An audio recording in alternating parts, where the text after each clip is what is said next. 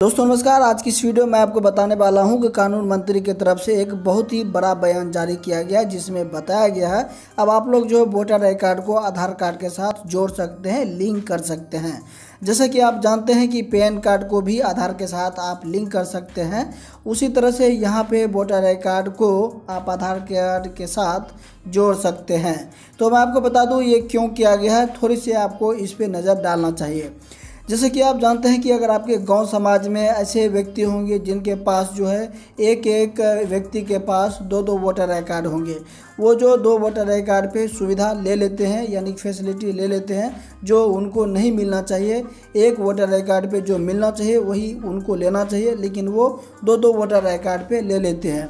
इसी को ख़त्म करने के लिए यहाँ पे जो है आधार कार्ड के साथ वोटर आई कार्ड को जोड़ा जाएगा। आधार कार्ड से वोटर आई कार्ड को जोड़ देते हैं तो यह पता चल जाता है कि एक आदमी के पास एक ही वोटर आई कार्ड वैलिड माना जाएगा।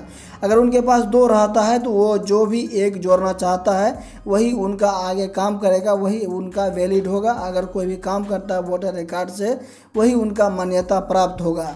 तो यहाँ पे आधार कार्ड से जो है आप वोटर आई कार्ड जोड़ सकते हैं। दूसरी बड़ी ये खबर है, अगर आप वोटर आई कार्ड बनाना चाहते हैं तो आपको साल में एक ही बार मौका दिया जाता है।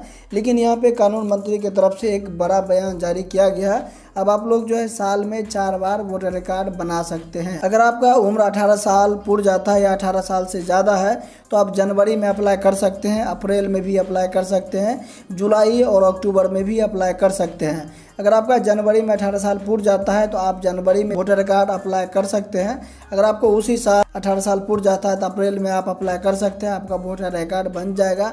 अगर आपका जुलाई में उसी साल अठारह साल पूर जाता है तो आप जुलाई और अक्टूबर में जो है, यहाँ पे वोटर कार्ड बना सकते हैं। ये अभी तक लाइव नहीं हुआ है, किस तरह से क्या प्रोसेस है, आधार कार्ड को वोटर कार्ड के साथ लिंक करने का और ये जल्द ही पोर्टल इसका लॉन्च किया जाएगा। जब लॉन्च किया जाएगा तो और हम आपको वीडियो बना के इन्फॉर्मेशन दे देंगे।